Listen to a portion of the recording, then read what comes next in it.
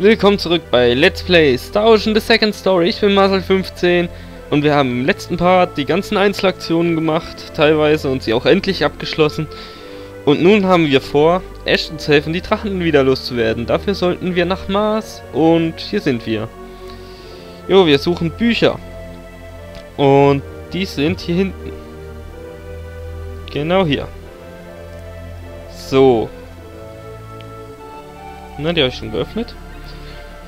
So, wir haben hier einmal die Ursprünge des Heraldisch, der heraldischen Künste, Volkssagen aus Mars und das Buch des Exorzismus. Exorzismus heißt auf Deutsch Austreibung, also würde ich mal sagen, dass wir das lesen müssen. Das Buch des Exorzismus. Wer etwas, wer von etwas mit einer anderen Gestalt besessen ist, lese dieses Buch. Hier ist es. Das ist es. Jo.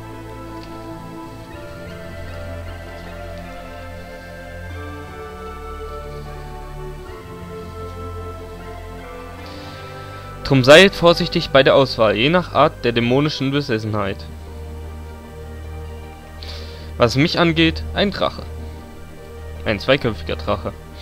Er, welcher von einem Drachendämon besessen ist, muss mit dem heiligen Silberkelch die im Himmel tanzenden Tränen des Königs auffangen. Wo ist denn dieser Silberkelch zum Auffangen der Tränen? Der Silberkelch ruht im Körper der Mutter, umschlungen von der Hülle ruhigem Gewässers. Die Hülle ruhigen Gewässers. Kann das das Meer sein? Oder vielleicht ein See? Wenn es ein See ist, muss es sich um den See Kull im Nordwesten des Kontinents Kreuz handeln. Aber ich verstehe den Bezug zum Körper der Mutter nicht. Ich frage mich, ob das wohl der Bergpalast ist. Er liegt in der Nähe des Sees Kohl. Wer die Tränen des Königs hält, stehe auf dem steilen Gipfel und fordere ihn stolz zum Kampf heraus. Bezieht sich das nicht auf einen Vogel oder so etwas ähnliches, das auf einem Berggipfel lebt? Im Westen von Kreuz sind die Lagusberge, in denen angeblich der Dämonenvogel leben soll. Und wer den König des Himmels besiegt, wird die Tränen auffangen. Und was dann? Man bringe diese an den Ort zurück, an dem der, Drachendämon geboren wurde, und gieße die Tränen des Königs mit dem Silberkelch in seinen Mund. Dabei singe man die in diesem Buch geschriebenen Worte. Und das wird mich befreien. Mit einem Schrei voll wilder Qual soll der Drachendämon aus der Welt scheiden.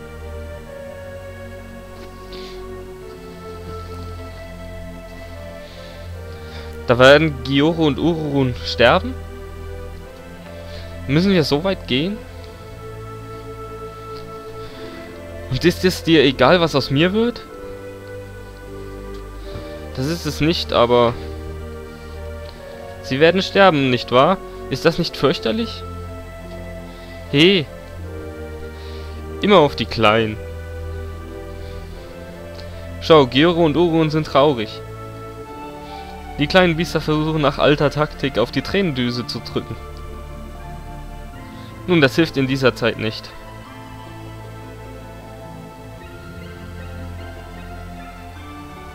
Nein, wir haben endlich einen Weg gefunden, sie zu exorzieren. Ich werde das zu Ende bringen. Nun denn, gehen wir erst einmal zum Bergpalast und holen den Silberkelch. Ohne ihn können wir die Tränen nicht auffangen. Armer Giro und armer Urun. Ja, jetzt wird erst erstmal noch schön ins Gewissen geredet. Ich kann mir echt nicht ohne Giro und Urun vorstellen. Hm.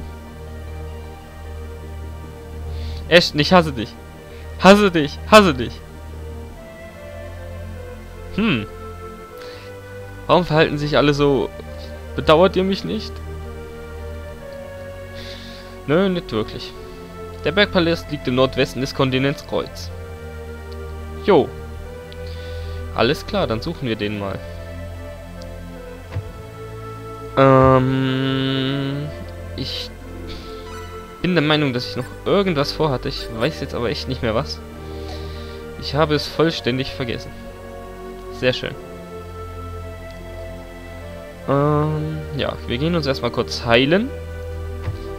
Wir wieder ein bisschen Spezialbewegungen einsetzen können, damit wir irgendwann mal die Tüchtigkeit richtig schön hochgeballert haben.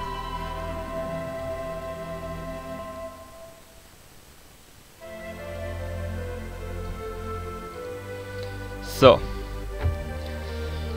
Wir müssen nun zum Nordpalast, oder zum Bergpalast. Der ist, ähm... Ja, ihr wisst ja, wo Klick war. Und wenn man dort etwas vorzeitig nach links weitergeht, beziehungsweise nach Westen halt, und nicht über die Brücke drüber, kommt man zum Bergpalast. Das ist der rote Punkt, der jetzt, den der Pfeil unten auf der Karte jetzt in die Richtung zeigt. Der da ist es.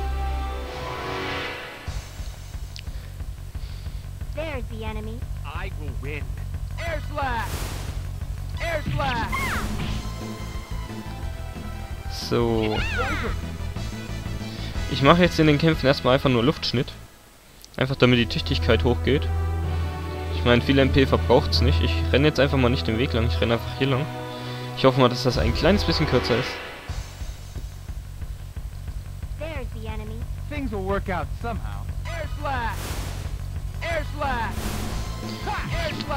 Ich werde jetzt einmal ungefähr den Weg zeigen, wo es genau ist. Ähm, wir müssen dann aber allerdings noch mal nach Kreuz, nachdem wir dort waren. Und dann wieder dahin. Und dann werde ich den Weg einfach rausschneiden, denn es ist doch ganz schön. Auch wenn die Kämpfe nicht allzu schwierig sind, so ist es doch relativ langweilig, da zuzuschauen. Deswegen werde ich das dann rausnehmen. Ähm, aber jetzt werde ich erstmal zeigen, wo genau der ist. Und nebenbei R Slash spammen. Auch wenn ich nicht treffe. Doch, ich treffe sogar.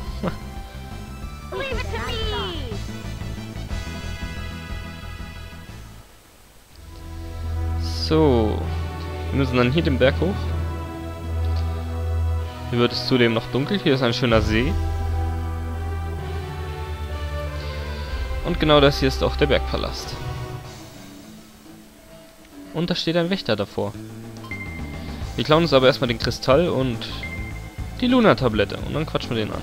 Keiner darf hier passieren ohne die Erlaubnis des Königs von Kreuz. Ja, wir brauchen die Be Erlaubnis des Königs von Kreuz. Deswegen wir sehen uns, sobald ich in Kreuz bin. So, da sind wir in der Burg Kreuz und wir gehen gleich mal zu dem Empfang für die Audienz. Ähm, wollt ihr noch eine Audienz? Geht bitte zur Treppe, die von dem Soldaten bewacht wird. Ja, wir dürfen direkt hoch zum König. Noch eine Audienz? Tritt bitte ein. So, das geht jetzt alles ein bisschen schneller. Wir müssen uns nicht erst im Schloss umsehen. Euer Majestät, wir kommen mit einer Bitte. Und die lautet? Bitte gewährt uns die Erlaubnis, den Bergpalast zu betreten. Wozu? Wir müssen den Silberkelch bekommen, der im Bergpalast aufbewahrt wird, um den Fluch von unserem Freund zu heben, der ihm diese zwei Drachen angehext hat. Nun, wir können solch eine Bitte natürlich nicht ablehnen, aber denkt an das furchtbare Monster, das dort lebt. Nehmt euch Nacht.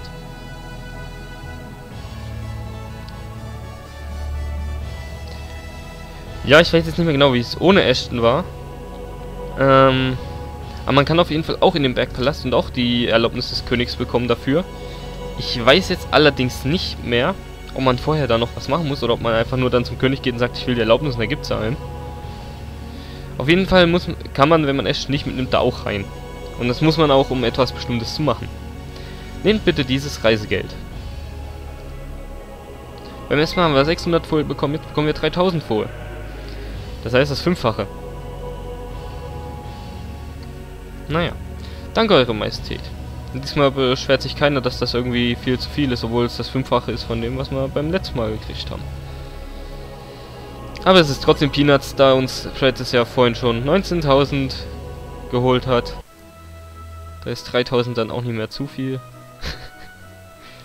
ich kann das immer noch nicht fassen, dass die Princess sich da um unsere Geldsorgen gekümmert hat. Also Denne, ich werde zum Bergpalast gehen. Wir sehen uns dann dort. Bis gleich. So, da sind wir am Bergpalast. Und wir quatschen auch gleich mal den Soldaten an. Ich sehe, ihr habt die Erlaubnis des Königs von Kreuz. Bitte geht weiter. Ja, woher nur? Wir haben weder einen Pass noch irgendwie ein Schreiben gekriegt. Wir haben einfach nur gesagt, wir haben die Erlaubnis. So. Dies ist jetzt ein relativ großes Labyrinth. Ich weiß den Weg jetzt auch nicht mehr auswendig. Ich werde einfach mal überall rumrennen. Ich will ja auch möglichst alles Zeug mitnehmen. Das heißt dann wahrscheinlich aber auch, dass wir eine ganze Weile hier drin rumratschen werden. Aber das werde ich auch nicht cutten, denn wir sind hier immerhin in einer Höhle und die ist vielleicht etwas interessanter. Wenn ich mich nicht richtig entsinne, muss man immer möglichst nach Nordwest, äh, Nordosten. Das sind ganz langsame Viecher, die aber sehr viel aushalten. Aber ich finde das gut, denn gegen die kann ich schon Luftschnitt spammen und die Tischdickheit hochtreiben, damit wir irgendwann die stärkere Version davon haben.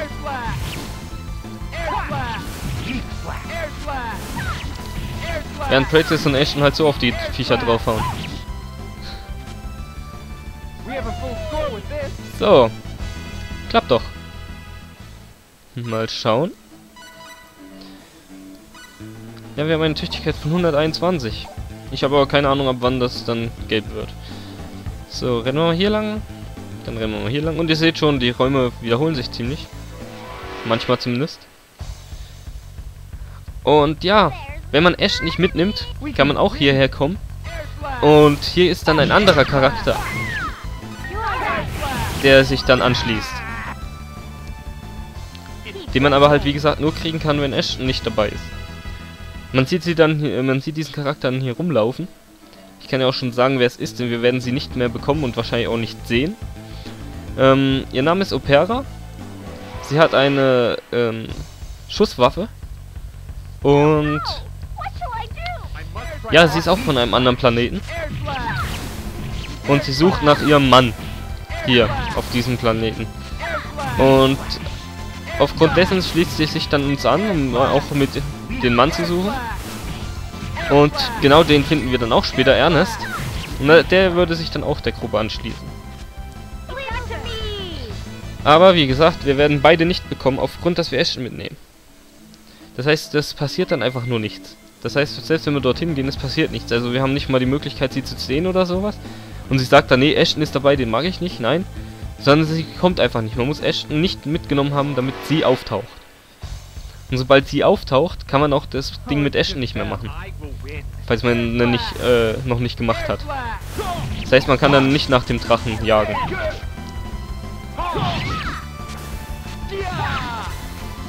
So, hier die stärkste Gegnerin ist, wie man sieht, diese Bogenschützin. Aber auch so stark ist sie nicht. Und ihr seht, wir kriegen nach dem Kampf auch schon MP. Nicht nur noch GP, sondern auch MP. Und das finde ich sehr schön. Ähm... Ja, laufen wir ein bisschen weiter. Ich werde jetzt erstmal ein bisschen mit normalen Schlägen kämpfen, damit mein MP sich wieder ein bisschen auffüllen.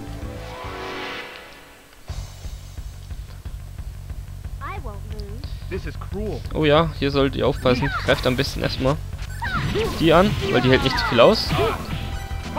Dann macht ihr besser erstmal die Viecher fertig, bevor die sich zigtausendmal teilen. Denn ich glaube, das sind jetzt die ersten doch von der Art, die nicht nur vergiften, sondern auch versteinern oder leben können. Und das will man ja nicht. Ja, Princess steigt ein Level und lernt Maulwurf. Mal gucken.